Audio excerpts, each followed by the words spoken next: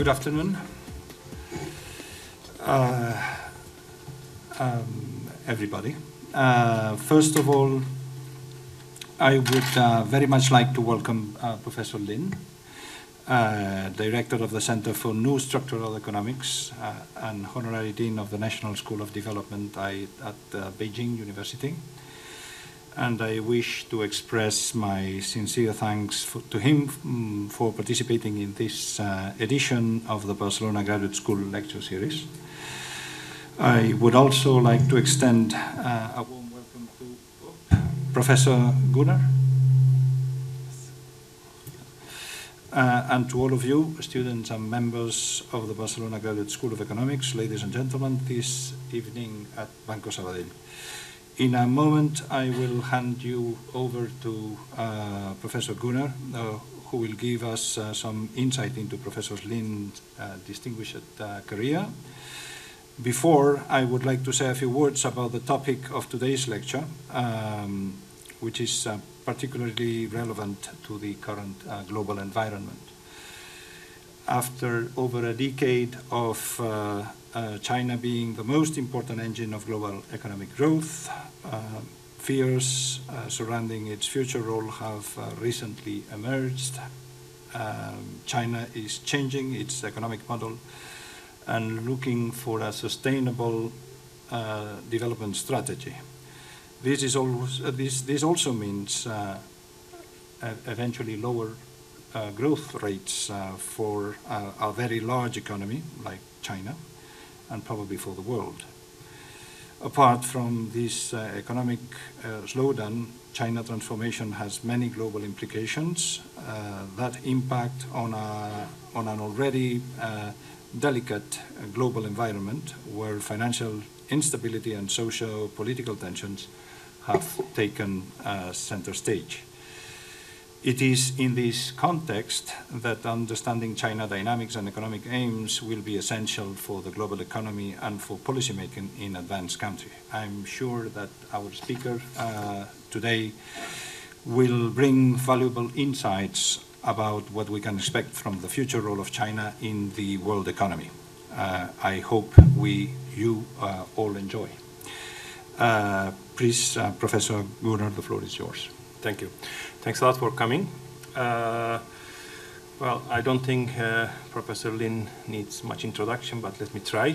Uh, uh Justin Lin was born in 1952 in Taiwan and then moved to mainland China in 1979. Uh, he's a man of many firsts, among which I will list two. Uh, he was the first People Republic of China citizen to receive a PhD in social sciences, economics or otherwise. He received his PhD from University of Chicago in 1986. In 2008, he, he, was the first World Bank chief economist uh, from a developing country. And if we think about the mandate of the World Bank, it's surprising that it took until 2008 to find someone from developing world to, to run as the uh, chief economist. Uh, he came second in one category. I was read that he was the second private citizen to own a car in Beijing. So that's uh, that as a remains as a black spot in his uh, CV. Uh, after his uh, PhD, Professor Lin returned, spent one year at Yale as a postdoctoral fellow, and in 1987 returned to China, and for 30 years until his tenure at uh, uh, World Bank, uh, he played a key role in the Chinese reforms.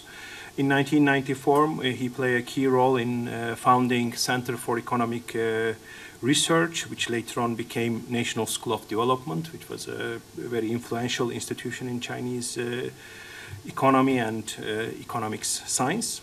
Uh, is the writer of many well-known articles and many books. Uh, his most recent book was published by uh, Princeton University Press in 19, uh, 2012 and is titled The Quest for Prosperity. It's, uh, it's a reflection of his uh, time in uh, World Bank. Uh, one of his colleagues uh, at World Bank describes him as a man who has the patience to cook a stone. Yes, I think it's a very. I was very impressed with this uh, this phrase. Indeed, uh, his name in Chinese, uh, Lin Yifu, means persistent man. So it's, it's, it goes with the goes with the title. Uh, during his tenure at World Bank, he pushed what is now known as the new structural economics. Um, basically, new structural economics, you can think of a mixture of uh, Chinese realities with Chicago economics. So it's, uh, it's a mixture of uh, market orientation and government intervention. And his, in his several books, he has been pushing this uh, new paradigm to rethink about economics, uh, development economics in particular. Uh, so today's lecture is about China, and uh, Professor Lin will talk about will China continue to be a growth engine in the world? I guess a topic that uh, we are all very interested to hear. The floor is yours.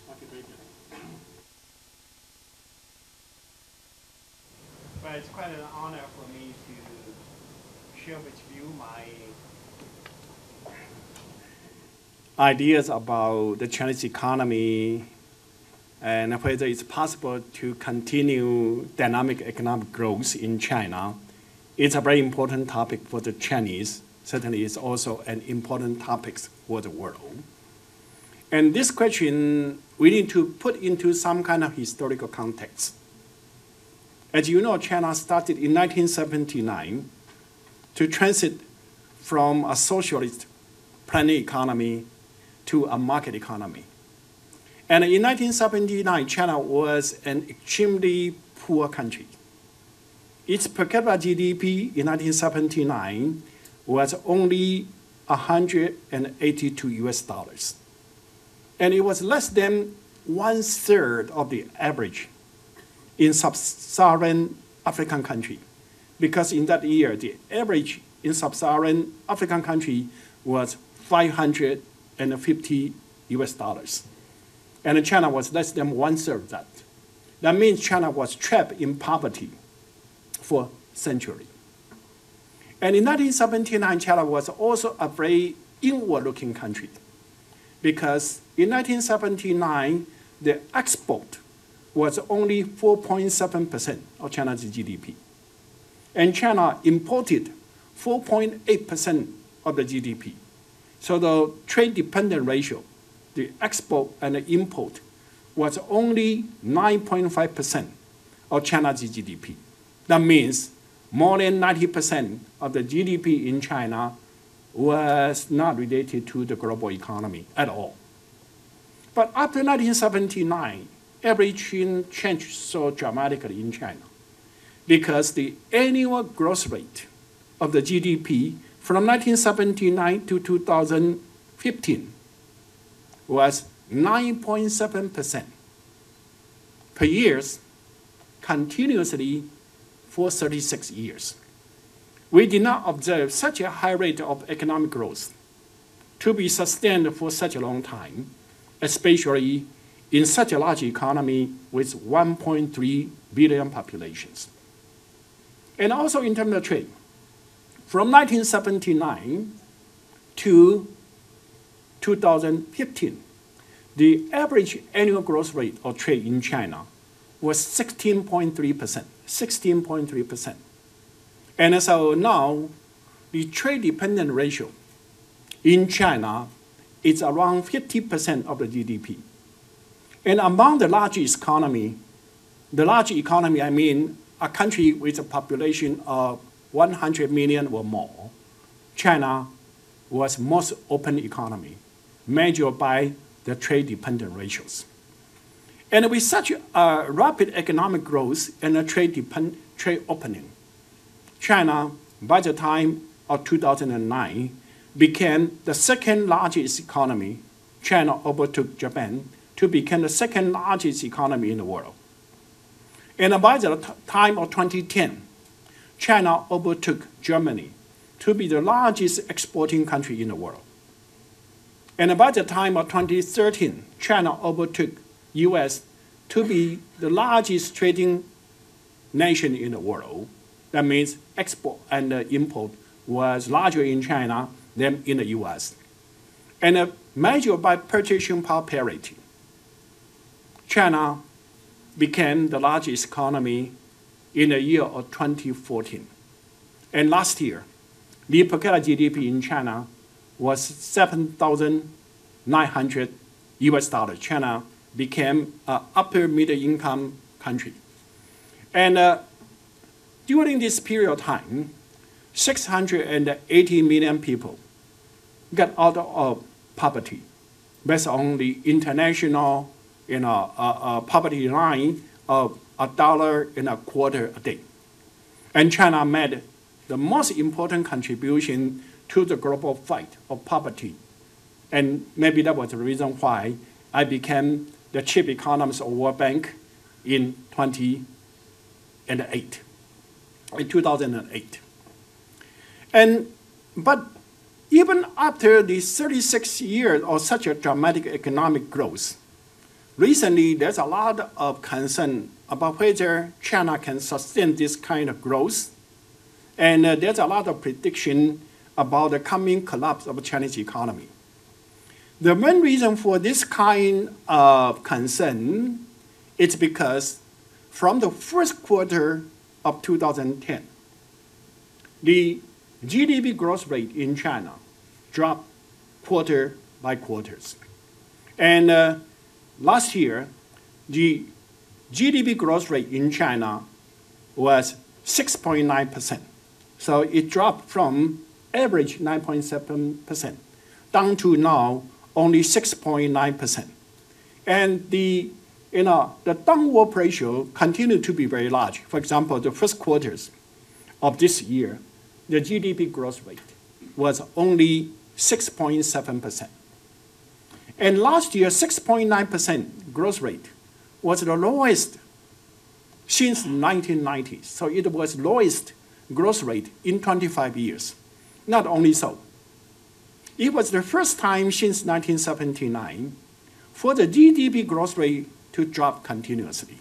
Because in the past, certainly, when we say China had 9.7% growth rate annually, certainly you have some kind of economic you know, fluctuation. But in the past, whenever the economy declined in the growth rate for one or two years, then the growth will pick up again. But this time, the economic growth rate dropped continuously now for six years, and the downward pressure is still very large. And uh, under this kind of situation, many people you know, attribute the reason for this kind of downward pressure to the internal structural problems. And we know that internal structural problem is very hard to deal with.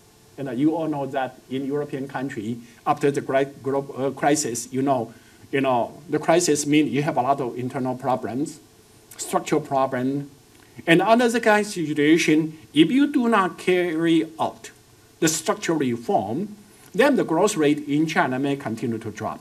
So according to this kind of argument. And you, if you read the newspaper, you know the companies in China rely heavily, high leverage to make investment. That means they borrow a lot of money from the bank to make investment. And if the growth rate continue to drop, the profitability of the company will continue to drop. So according to this school of thought, then some kind of financial crisis seem to be unavoidable. Because if the growth rate continue to drop, then the profitability of the company will be deteriorating. They will not be able to pay back the bank loans, and then you're going to have some kind of financial crisis someday to come. And not only so, if you continue to drop in the profitability, some company will close, bankrupt, and then unemployment will become an issue. So not only China may encounter the financial crisis, China may encounter the social political instability. So if China do not carry out the, the structural reform. But if China wanted to carry out a structural reform according to these ideas, situation can even be worse. Because if you want to carry out a structural reform, then many companies may have to close down. And under the kind of situation, you will make this kind of financial crisis to occur much quicker and unemployment to occur much quicker. Although structural reform may be good for the economy in the long run, but you cannot weather through the short run. So according to this scenario, economic collapse in China is unavoidable. So under this kind of perception, any kind of signal in China will cause a huge responses in the world. For example, last year when we have some kind of collection in our stock markets, and it's not only a collection in China, it's a collection in the whole world. And uh, when Chinese government, you know, have a policy to become the Chinese currency to be a currency in the basket of SDR, and to do that, China certainly need to carry out certain, you know, improvement in the management of the exchange rate. And when China carried out all those kind of, you know, improvement, you know, certainly there are some kind of adjustment in the exchange rate in China in August last year. And then, you know, when the exchange rate dropped for two days, then people interpret China wanted to use devaluation as a, as a way to improve the export and indicate Chinese economy was in big trouble. And again, there's a big, you know, reaction in the global markets. So that was uh, some kind of ideas, you know, in all kind of international forums, like World Economic Forums. And those are also the message you can read from, you know, Financial Times and uh, New York Times and so on. But to me, are this perception right or not? That is something I'd like to share with you. But to answer whether China will be able to avoid the collapse and to continue a reasonable high rate of growth as targeted by the government in the 13 five-year plan, 13 five-year plan, which was adopted by the Congress this March, of 6.5% growth will, you know, every years in the coming five years from 2016 to 2020. 6.5 or more growth rate. Whether China will be able to achieve those kind of growth rate. I think we need to understand the first thing. How come it was possible for China to achieve 9.7% growth rate continuously for 36 years? It's a record we never observed in the world, in the human history. How come it was possible for China to achieve that? That's one thing we need to understand in order for us to be able to make a judgment about the futures. And secondly, if we want to understand whether China was able to achieve the government's target of 6.5% and more in the coming five years, we need to understand what is the growth potential in China. Some people argue the growth potential in China now should be dropped down to 6%, or according to Larry Summers, should be about 3%. Okay. So we need to have a good understanding about the growth potential in China. And secondly, we also need to understand what was the reason for China to have a deteriorating in its growth rate. Was it because of the structural problem, as some of the commentators arguing, or some other reason? And the last one, certainly, we need to understand whether Chinese government will have the means, will have the policies or ability to support the growth in China. So those are the four areas I'd like to share with you tonight. The first one, how come it was possible for China to achieve 9.7% growth, not only for one year, for 36 years continuously? Actually, my answer is very simple. It was totally because of the advantage of backwardness or the latecomers advantages. Because for any country to have a continuous growth, certainly the country need to continuously improve the labor productivity in order to have an income rise continuously. But if you want to improve the labor productivities, there were two mechanisms. One is to have a technological innovation in the sectors which you produce now. The second one is to have new sectors which have higher value added. And uh, you can allocate resources, including labor force, capital, natural resources, from existing sectors to the new sectors which have higher value added than the sector which you have not. And this is the only two mechanism to improve labor productivity in any country at any time. High income country should rely on this. Um, middle income country, a developing country, should also rely on these two mechanisms to improve labor productivity to achieve sustainable income growth in the country. But there are two, there are some difference between high income country and developing country like China. For the high income country, since the industrial revolution, their technology, their industry are all on the global frontier. In the existing sector, they already have the best technology. In the industry they produce, they already have the highest possible value added in the world. So under this kind of situation, for a high-income country to have a technological innovation in the existing sectors, or to have a new sector which have higher labor productivity, higher value added, the high-income country will have to reinvent the technology or invent the new industries. But we know invention is very costly. Invention is very risky. So from the experience since the mid-19th century, the high-income country in Western Europe or in North America, the average annual growth rate of GDP per capita was about 2% per year. Plus population growth rate, the high-income country only average will be able to achieve around 3% growth rate in the past decades, in the past century. But for a developing country, they are moving within the global technological frontier or industrial frontier. And we know that as economists, we know technological innovation does not mean invention for the developing country. Technological innovation only means that you adopt certain kind of technology which is better than what you are using now. But it can be a mature technology which has been used in the high-income country for a long time. So you can learn, you can imitate, you can import, you can license the existing technology from high-income country to have a better technology compared to what you have. And those kind of approach is technological innovation for developing country. And uh, the cost and the risk of those kind of approach will be much lower than the high-income country to get technological innovation.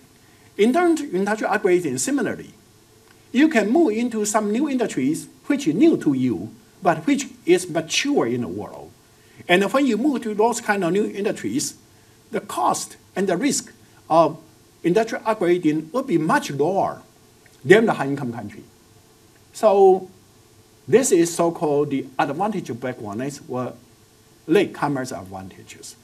So if a developing country know how to tap into this potential, they can grow much faster than the high-income country. But how, far, how fast? How much faster? From the empirical evidence since the Second World War, there were 13 economies in the world tap into this potential and achieve 7% or more growth rate continuously for 25 more years. And China became one of these 13 economies after 1970. So the answer to the first question, how come China could grow so much faster than any country in the world, including high-income country, was because of China after 1979 learned to how to tap into this potential of the you know, high growth. Then the question is that China now already tapped into this potential for 36 years how, how much more potential is there? And there's some analysis by some economists, some argue. Well, if you look into the experiences of those good performing developing countries, in general, after they tap into the potential for 20 years or 25 years, then their growth rate will drop from 7% down to 6 down to 5 or even 4%. China now al- already used this potential for 36 years, so China could not avoid a similar pattern. That was one argument. The other argument that if you look into historical experiences, any good performing catching up economies, after they reach per capita GDP of 11,000 US dollars measured by the purchasing power parity and at the dollar value of 1990s, then their growth rate all dropped down to, you know, 654, something like that. And uh, you can look into some country like Germany, you know, they reach 11,000 US dollars, its growth rate dropped down to about 4%. And Japan, after they reach 11,000, its growth rate dropped down to about 6 or 5%, and others. So those are the two arguments to argue the growth potential in China already deteriorate a lot. But if we know the mechanism for my first question, how come China could grow so fast? It was the latecomers' advantages or the advantage of backwardness.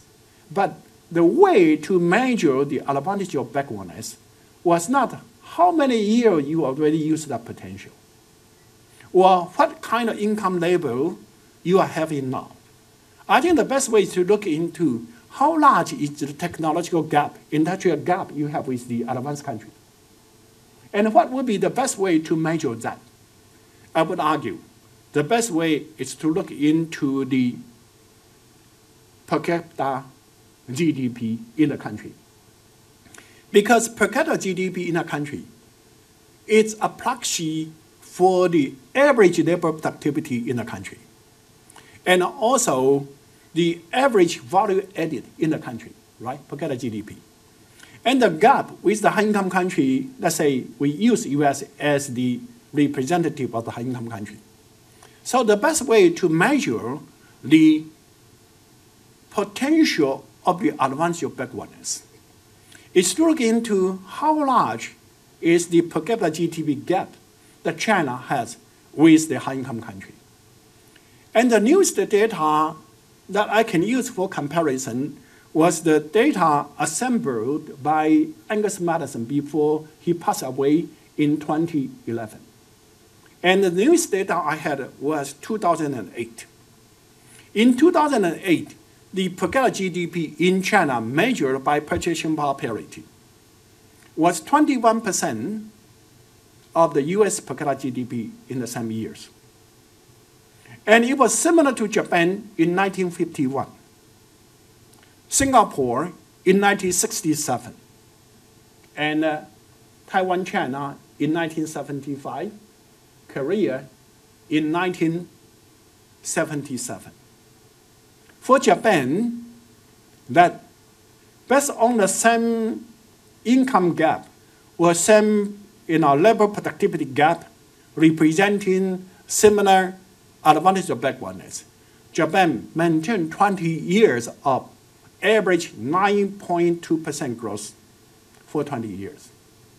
Singapore, with a similar advantage of backwardness, maintained 20 years of 8.6% growth from 1967 to 87.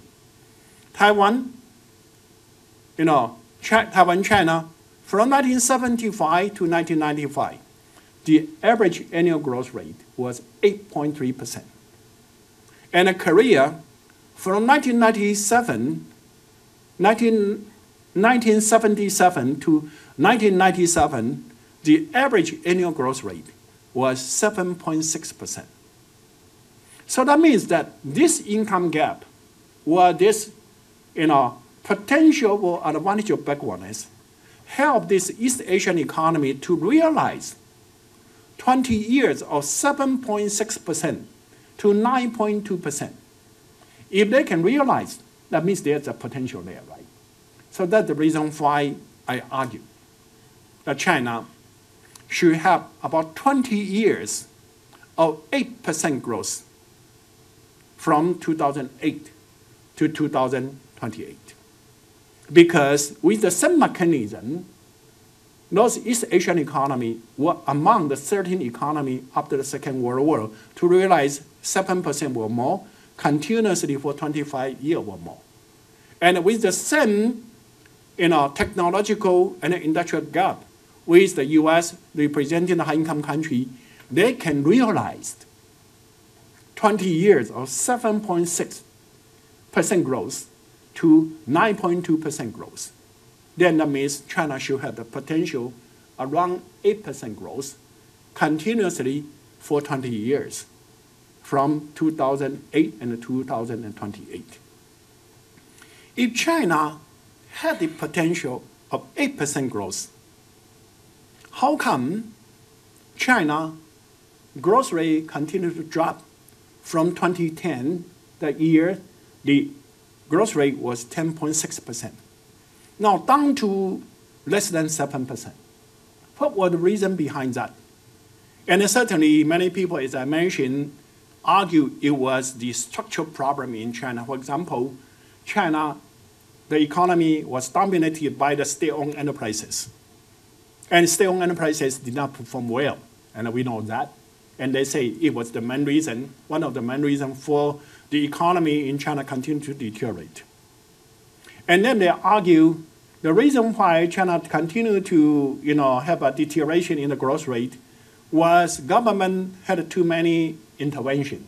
China did not rely on totally by market to have resources allocation. And if you have a government intervention, certainly, then you have a misallocation of resources, and they say that was the reason why the economic performance in China deteriorate. Then they argue the reason why the economic growth in China continued to deteriorate was because China invested too much. And uh, that kind of model cannot be sustained. And that was the reason why the growth rate in China continued to drop. If you read the Financial Times or, or Wall Street Journal, you can see a lot of commentary along those lines of argument. And my position is that, yes, China has all those problems. But are those problems the main reason for China's deterioration of the growth? May not, because China has those kind of problem in the past 30 years and more.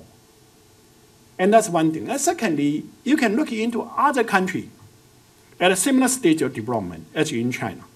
For example, we have the term of BRICS country, right?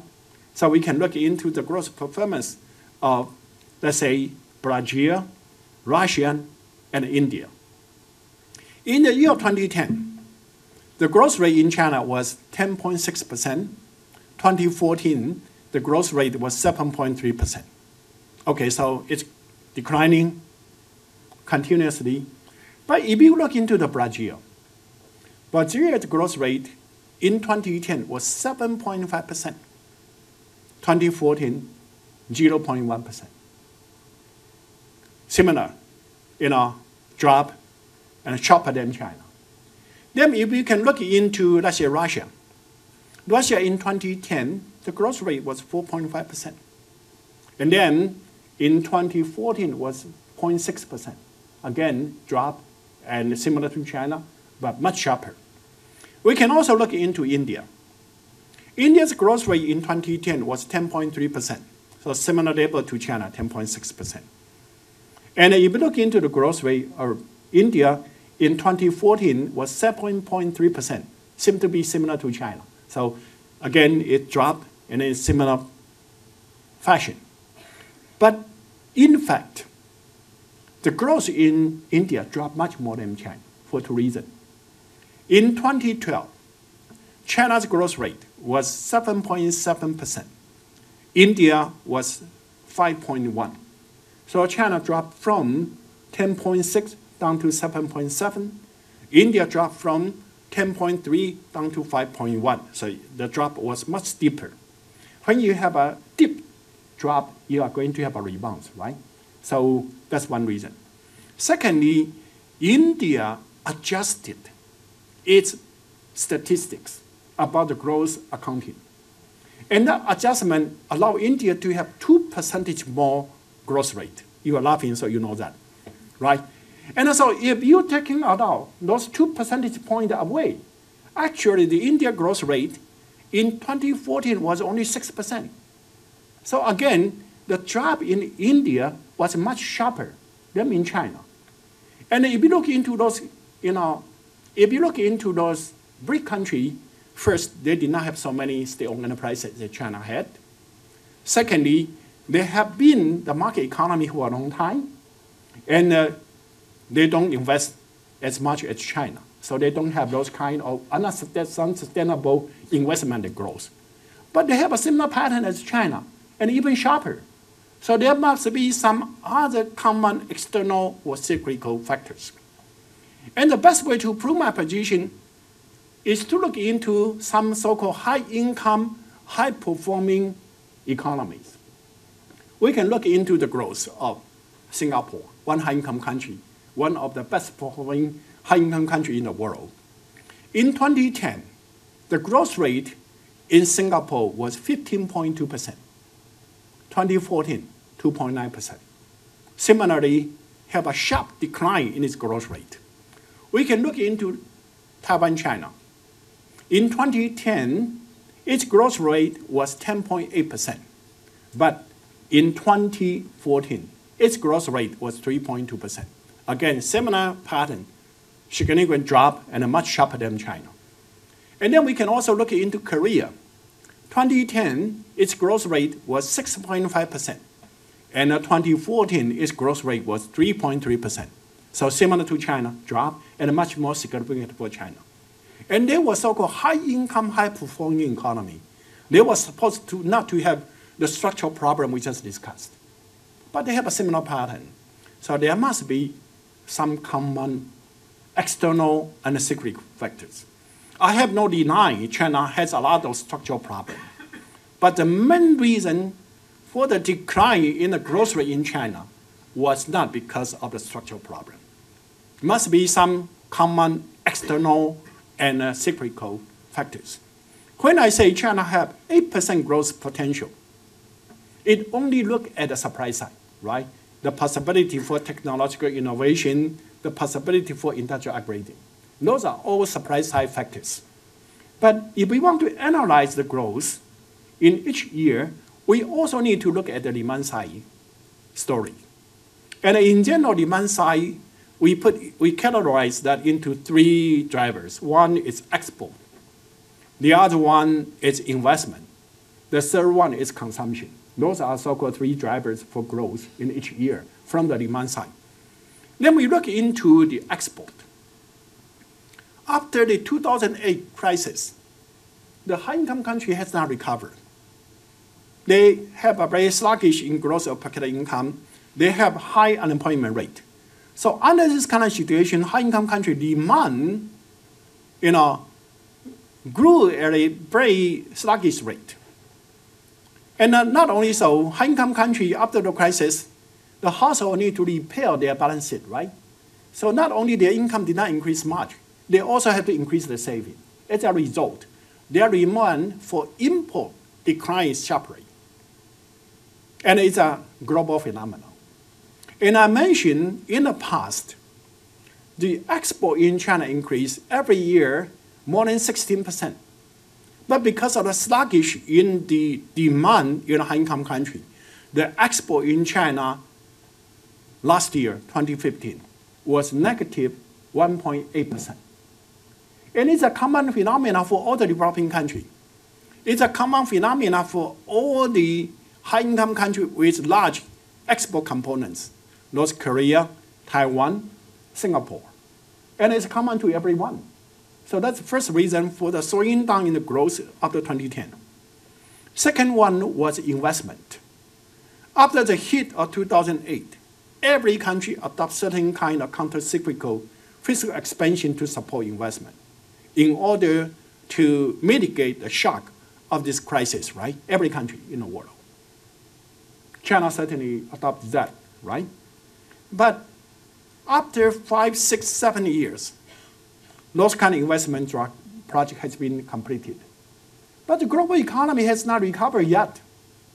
As a result, unless the government adopt new expansionary policy to support investment, then the investment growth rate will drop. And it's a common phenomenon to every country. And China certainly had a similar trouble. For example, in the 11th five-year plan, from 2006 to 2010, the average annual growth rate of investment was 25.5% from 2006 to 2010.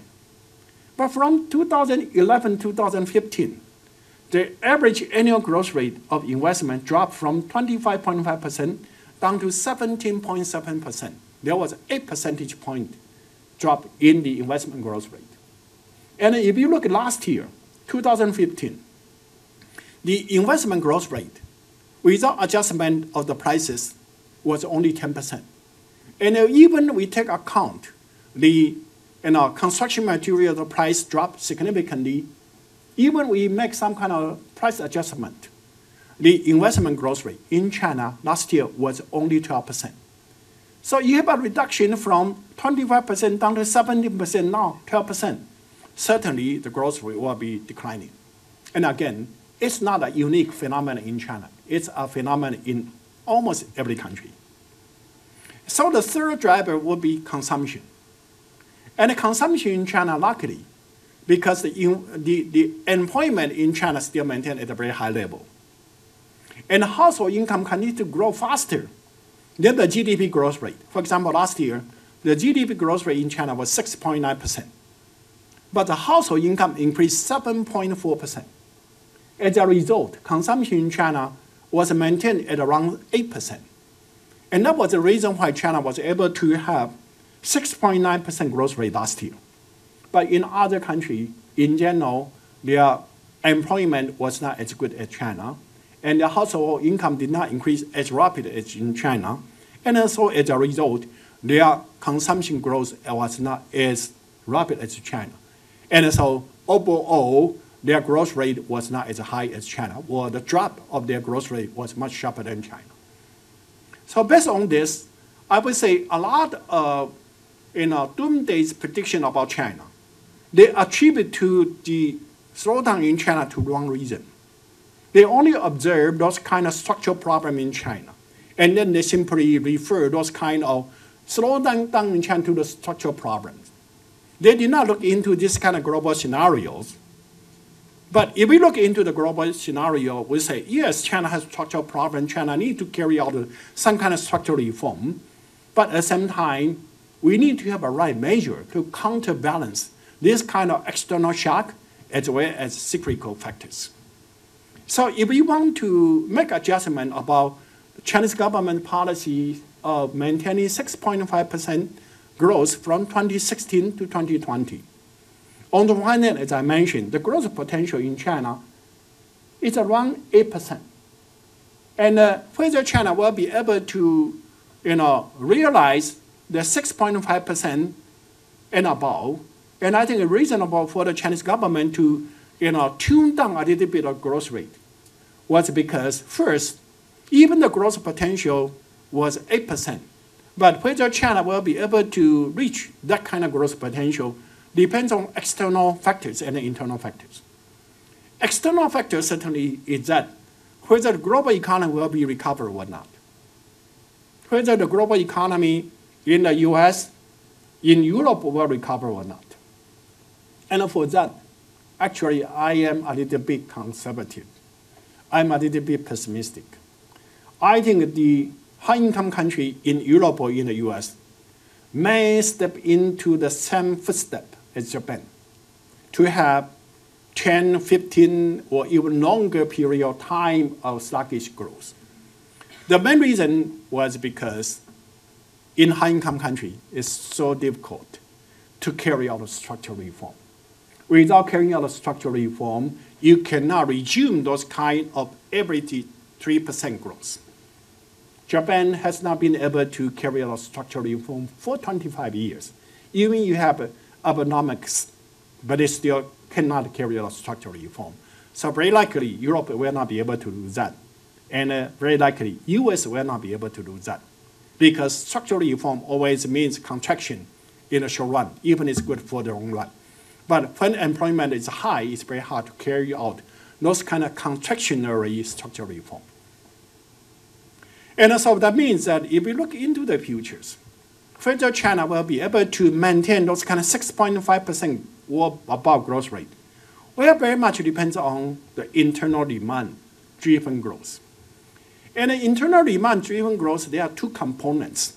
One is investment, the other one is consumption. And globally, there's a lot of recommendation China should switch to consumption-led growth and uh, give up the investment growth.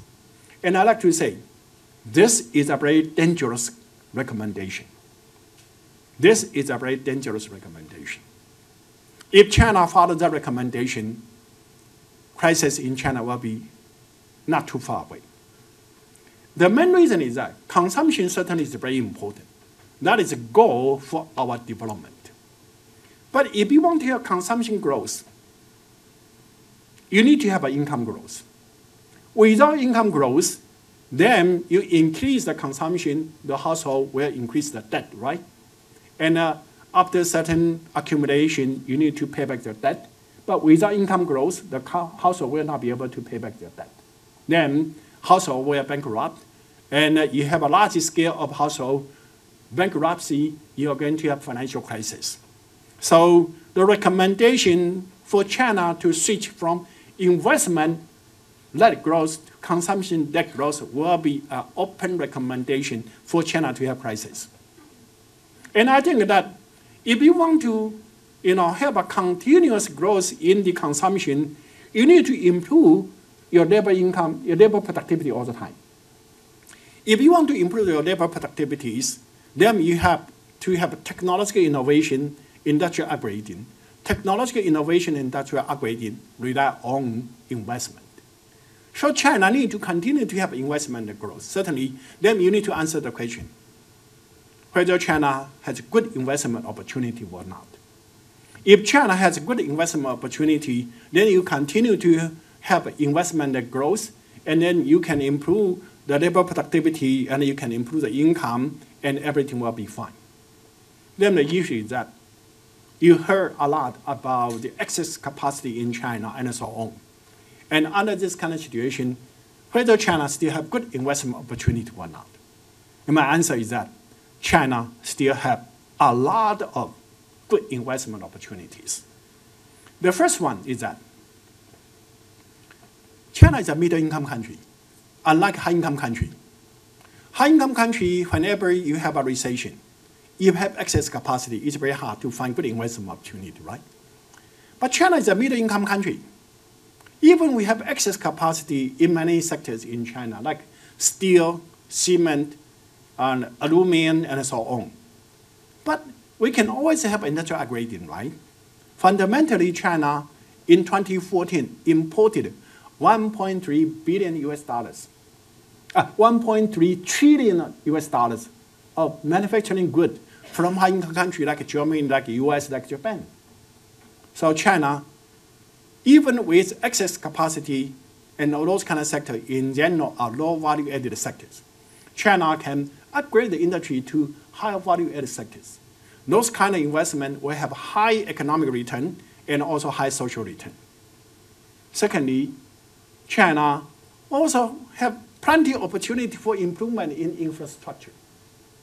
You know, if you go to China, it may be in place by the infrastructure in China, but I'd like to say, those kind of infrastructure in general are the infrastructure to link one city to other city, like highway, like high-speed train, like airport. But inner city infrastructure is still so poor. So if you come to China, you will be troubled by kind, all kind of congestion, all kind of traffic problem. So China can improve subways, China can improve sewage, switch, and those are good investment also. And the environment. China also trouble with environmental pollution. And certainly, if we want to improve the environment, we need to make investment in environmental technologies. Those are also good investment. And lastly, urbanization. Currently, the urbanization rate in China was 56% of the total population. To reach, to become high-income country, the urbanization rate in general reach about 80%. So China still only urbanization process. When you have the rural people to migrate to the cities, you need to build houses for them. You need to provide public infrastructure for them. Again, those are all good investment opportunities. So the existence of good investment opportunity in a middle income like China is one thing which a middle income country differ from high income country. A high income country encounter what you have in Europe today. It's very hard to find good investment opportunity because your technology, your industry are already on the global frontier. And once you have excess capacity in the existing sectors, it's very hard to find good investment opportunity. Even you have one or new technology, new industry like 3D printing or electronic vehicles, but they are not large enough to have large enough investment to pull the whole economy out of the recession. And uh, your infrastructure is already there, right? At the most old, but you have already have the infrastructure. But if you want to, you know, improve the infrastructure, it's just like a digging a hole, paper hole. The productivity improvement will be low. But in China, we still have so many bottlenecks. And the bottleneck investment type of infrastructure return will be much higher. The environment in high-income country is good already. And urbanization is already reached its high stages. So this is something that we try to understand the developing country. We need to pay attention to this difference. But many people in high-income country, they always use high-income country experience to judge a developing country. So whenever they see there's no excess capacity, then they start to argue there's no good investment opportunity. Actually, that's not true. And secondly, if you have good investment opportunities, then you need to have resources for making investment, right? And for that, China is also in a very advantageous position because government debt as a percentage of GDP in China today is less than 60% of GDP. And high-income country in general, their debt, accumulated debt is already you know, higher than 100%. In the case of Japan, was already 240% of GDP. So the possibility for China to use fiscal expansion to you know, stimulate the economy is still so large. That's one thing. And not only so, the household saving in China a year, every year is about 50% of GDP, among the highest in the world. And so the government can use its fiscal expansion to leverage private sector investment. And uh, if you want to make investment as a middle income country, China certainly need to import you know, technology equipment from the high income country or raw material from resources-rich country. So a developing country, if they want to make investment, they need to have foreign reserves. China has 3.2 trillion US dollars in reserve, among the highest in the world. So if China leverage this government resources, private sector resources, and the foreign reserves, China certainly will be able to maintain reasonably high growth rate in investment. With reasonably high growth rate in investment, job will be created. And with the creation of job, household income will be maintained. And especially this kind of investment will improve labor productivity, so household income will continue to grow very rapidly. And with household income increase and full employment, certainly consumption in China will continue to maintain at a very high level. So if you put the investment growth rate and the consumption growth rate together, I'm quite confident. No matter what kind of global economic situation, by relying on internal source of growth, China will be able to reach the growth target of 6.5% and above in the year of 2016 and 2020. Currently, China's GDP is about 15% of the global GDP. So maintain 6.5% of growth. That means China will contribute at least one percentage point to the global growth. And currently, the global growth is around 3% to 3.5%. So that means what? China will continue to contribute about 30% or more growth every year to the global growth in the coming years. So it should be a good news for everyone in the world, including people in Spain. Thank you very much.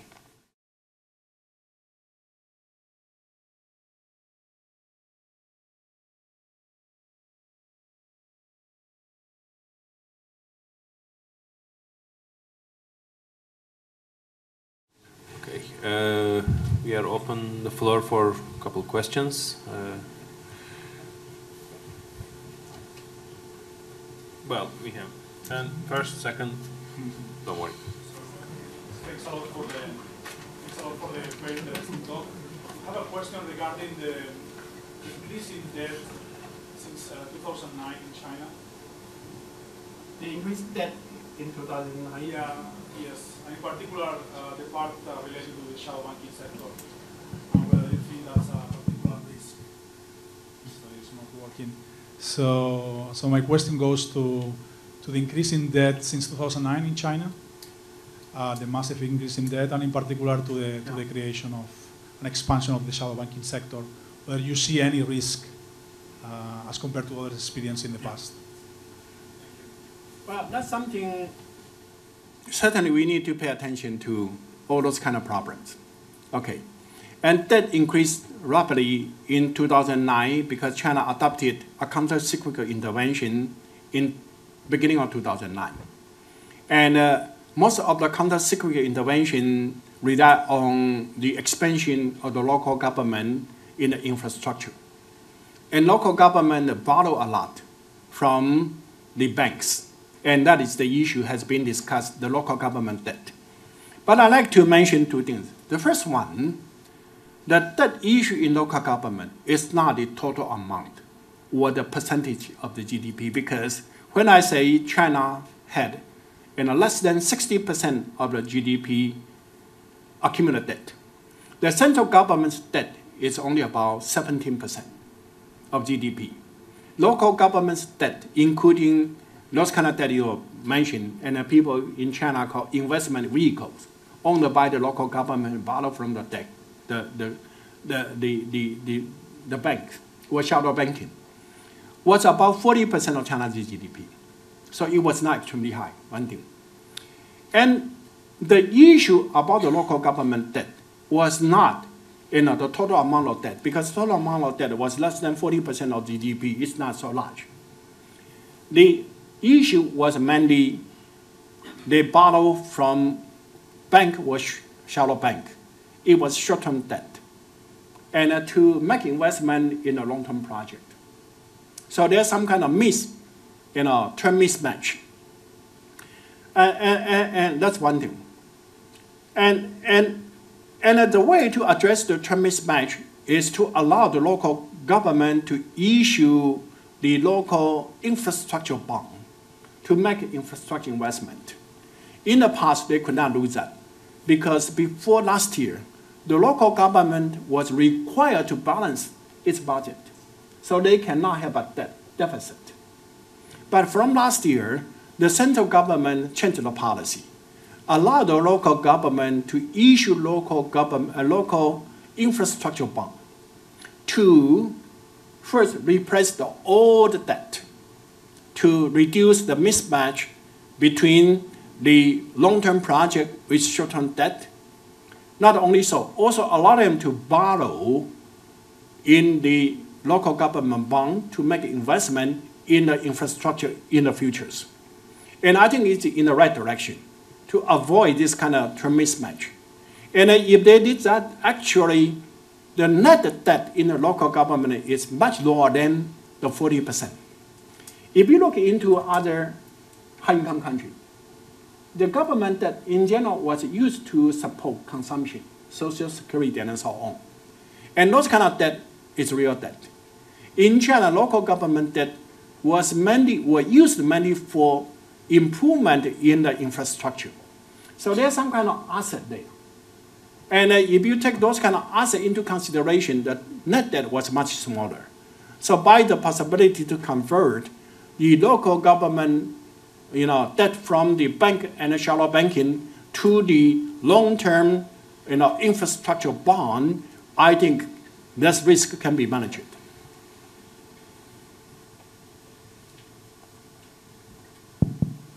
Okay, uh, Jose stood up, so I think that says the standard. Uh, I certainly hope you're right. Uh, but when you're talking about the growth potential, you're essentially comparing with experiences of countries which had very high growth rates, Yeah. and then continue having very high growth rates, and you say, Yeah. why not China? There are a couple of examples that are older, uh, between sometime between the interwar period and the 60s, and those were Mexico and Brazil, which Yeah. they had very high growth rates, not as high and not for such a long period, but then they stopped.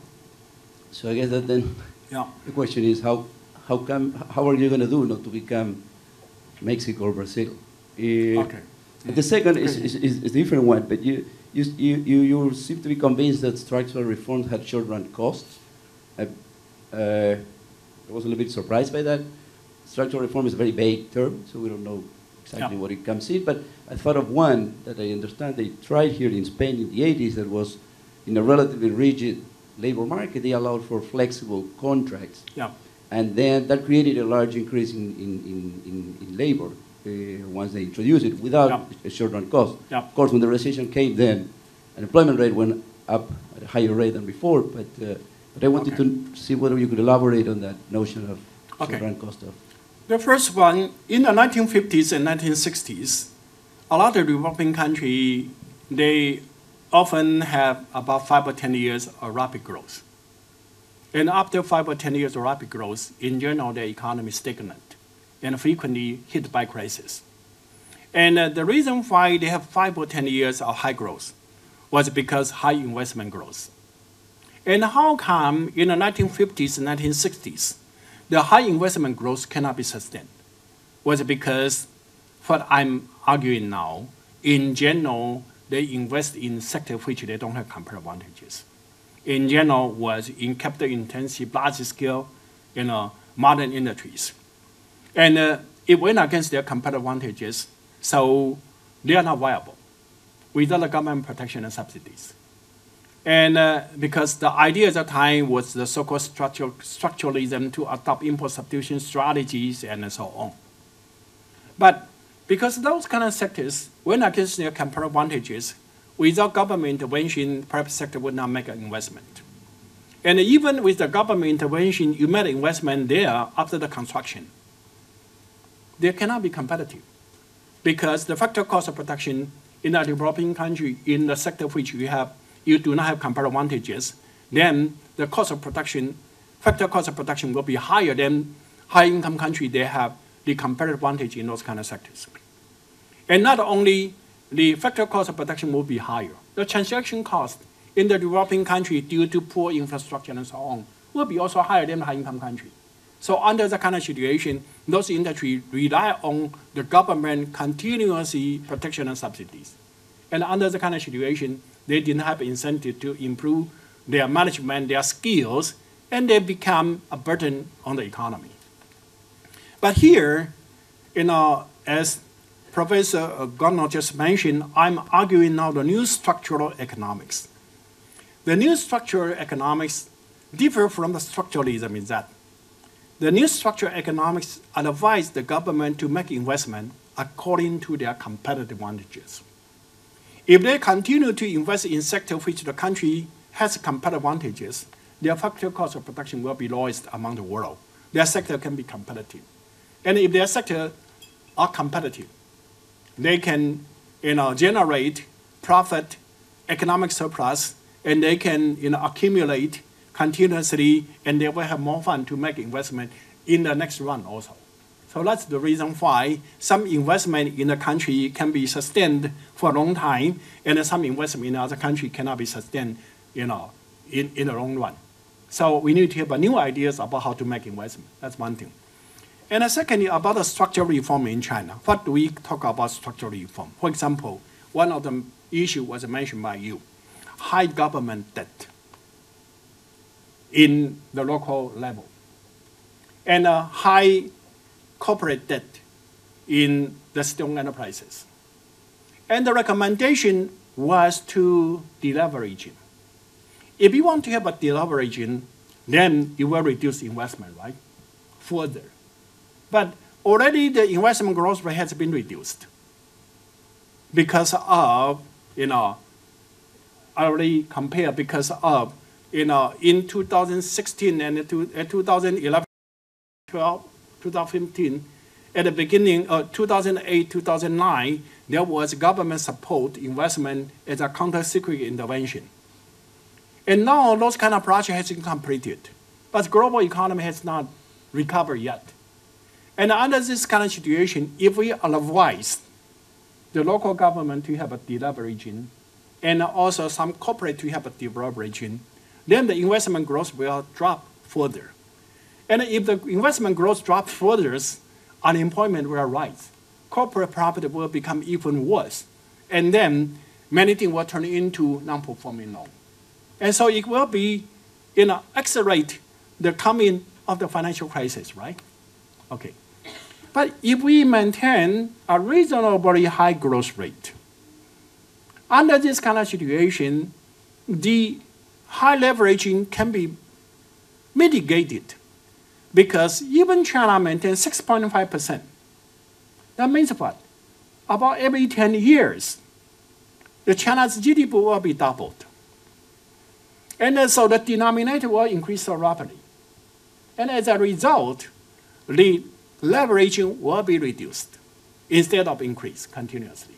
So that very much depends on, you know, we need to analyze is a nominator or denominators, and to make, you know, the judgment according to this analysis. But many people only look at the high leveraging, and then they say high leveraging is a dangerous thing. But I think high leveraging will be very dangerous if the growth rate drop. If the growth rate continues to maintain high, then high leveraging, first, is not so dangerous because if a higher growth rate, corporate profit will be higher, and then corporate will be able to retain the interest rate and the principal. That's one thing. And also, high growth rate will make the denominator become larger. And so the leveraging will be reduced by that. There was one more question there.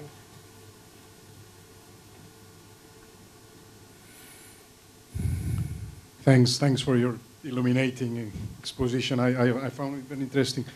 Uh, I do have, however, some questions which sort of come to my mind in that. I, I'm not sure if the question is whether China has investment opportunities, which I'm, I have no Yeah. doubt about. For me, the question would be, does China have investment opportunities, sufficient investment opportunities for 45% of its GDP, which is what it is investing right now? Uh, and that's, if you pose the question this way, I- I'm not completely Yeah. convinced of, of the answer. Now, if I, if I put this together with what has, and that's my understanding, you correct me if I'm wrong, the, the declared intention of the uh, Chinese authorities of, you know, making a progressive change between investment and, and, and to consumption, this would come a little bit into, into this discussion. And then what concerns me is not so much all these risks that you say, you know, some people are calling, Yeah. et cetera, is how would the process be? In the sense that if, if investment is a little bit lower going forward, Yeah. and this is, that it does not come together with an, an adjustment on the uh, savings in the economy, what would happen to the current account, the exchange rate, and the international position of, uh, in, in, in the international financial markets on, on China? That's, that's one side of my question. The other Yeah.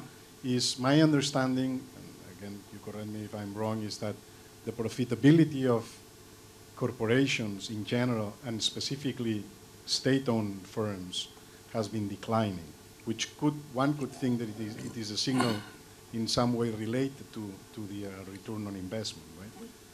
How all this plays together. Uh, and finally, on this, on this fiscal policy, the, the IMF has a very interesting information in its uh, last Article 4, which I was looking. The fiscal position is relatively sound. The uh, Yeah. level of debt, as you say, is, is relatively low. But they have something which they call the augmented fiscal deficit, which is basically the fiscal deficit plus the increase in debt on all these, you know, special purpose vehicles uh, or special vehicles, whatever, which is almost 10%. Which is, of course, the, uh, the, the, the debt may be today low, but, uh, but at 10% every year, it, it, gets, it gets high pretty quick, right, I guess? Well, I think that um, the last comment, it's 10% in stock, not to have a 10%, 10 percentage increase in the debt every year. Okay. The debt every year in China is about, in the past, about 2.5%. And in 2016, it will increase to about, you know, 3%. But it does not mean that China every year increase the debt 13%. It's impossible. If increase debt every 13%, then after 20 years, everything in China will be in debt. It's impossible, right? So I think that they say 10 percentage higher than the now 60% debt that China, you know, calculated. And for that, certainly there's a possibility because there may be some shortage in the Social Security Fund. There may, may be some responsibility for the retirement workers and so on. And uh, if you put that, then the, you know, the, the accountability for expenditure for the government will be higher. And that, you know, increase 10%, or some people even say 20%. Okay. Supposedly even 20%. The total government debt in China, as I said, is less than 60% today. You put 20% more, that would be 80%. 80%, right? But as I argue, a lot of investment from the central government and the local government, it's a debt for investment, it's not debt for consumption. And so there's a lot of asset there for the government, both in the national level and also in the local level. And uh, in that regard, the net debt is much smaller. And that is one thing that I often have my argument with the colleagues in the World, in, in the World Bank and also in the IMF. For example, in European country, you have a principle that debt in a country cannot exceed 3% of the GDP each year, right? It might be reasonable in developed country. Because in a developed country, your debt means real debt. Because you, in general, use those kind of debt to support social security, unemployment benefit, and so on. And uh, those kind of debt was used to support consumption. But in a developing country, very often they use the debt to make investment, to improve the infrastructure. And so on the one hand, you have some net asset to offset your debt. And secondly, if you improve your infrastructure, reduce the bottleneck of growth, then the growth potential in the country will be enhanced. Government revenue in the future will also be improved. So not only the net debt was smaller, and actually the government ability to pay back the debt will be higher. So under this kind of situation, there's no reason why a developing country can only have three percentage point in that debt. And although in their supervision, Article 4, surveillance, that was a very important criterion. But they did not pay attention to the structural difference in a developing country and a developed country. Then coming to, you know, what will be the implication if Chinese government continue to have, let's say, state-owned enterprises, and also to have this kind of fiscal stimulus?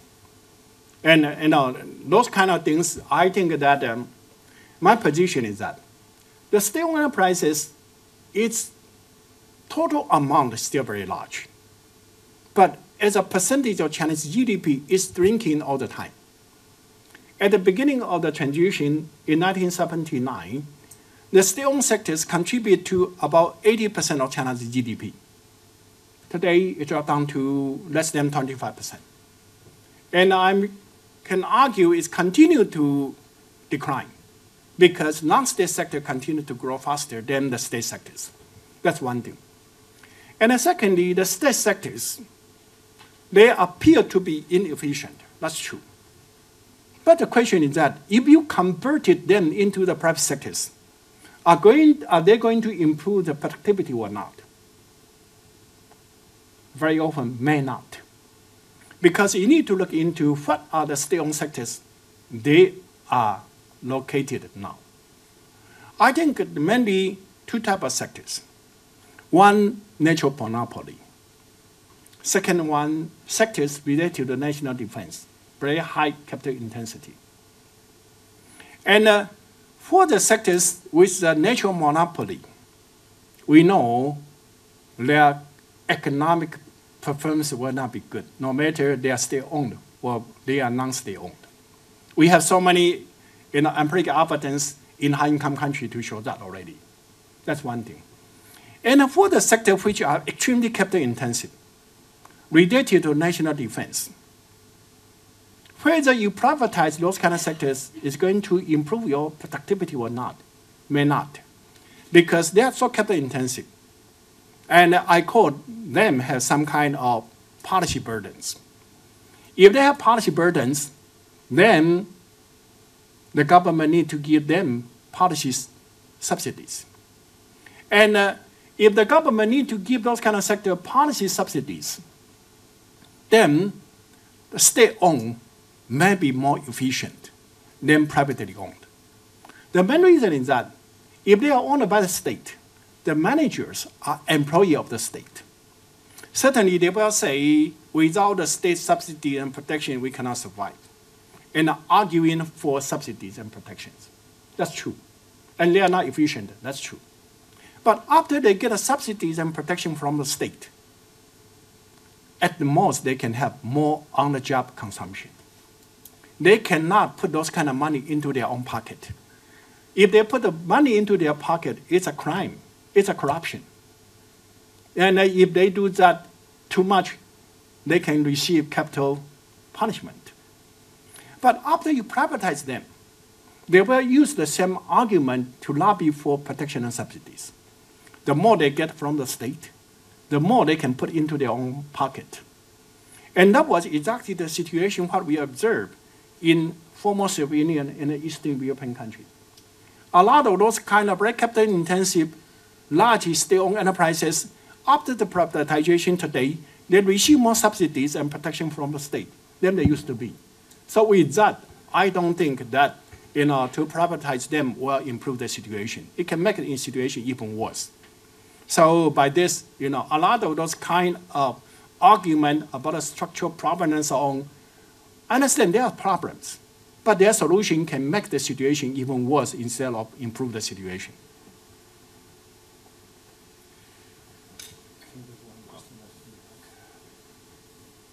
This is going to be the last question we take. Thank you for uh, your presence today here.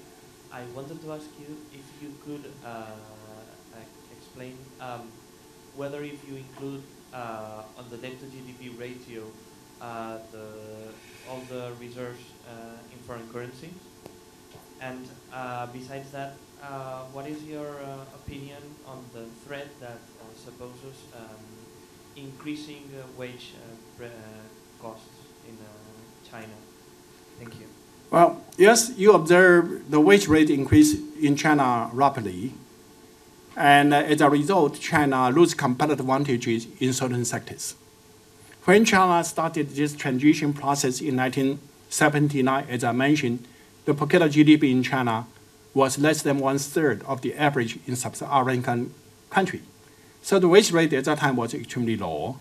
And as a result, China had a competitive advantage in the labor-intensive processing industry. And the development of those kind of processing industry helped China to become the factory of the world, to help China to export you know, expansion so quickly. But now all the labor force has been absorbed. And the capital accumulation in China increased so rapidly. And uh, last year, as I mentioned, the per capita GDP in China reached 7,900 US dollars. So China was not a capital skills economy anymore. And since China was not a capital skills economy, and uh, the factor endowment in China changes from labor abundant to now more capital abundant economy. So China certainly need to upgrade industry to more capital intensive. And China will lose competitive advantages in those kind of labor intensive industry.